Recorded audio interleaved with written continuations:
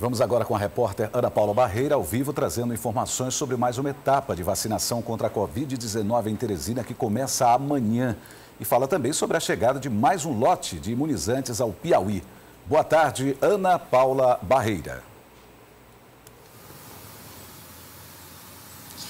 Boa tarde, João Neto. Boa tarde a todos. Eu estou aqui no terminal do Parque Piauí, na zona sul da cidade que vai ser um dos pontos de vacinação. E amanhã vai ser a vez dos idosos de 77 e 78 anos que receberam a primeira dose da vacina. E vai funcionar da seguinte forma: amanhã,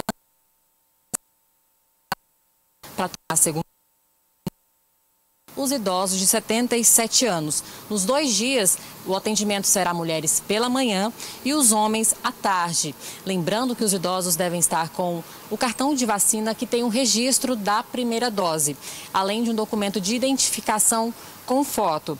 E serão disponibilizados, além desse ponto aqui de vacinação no Parque Piauí, mais outros oito postos de vacinação espalhados por todas as zonas da cidade.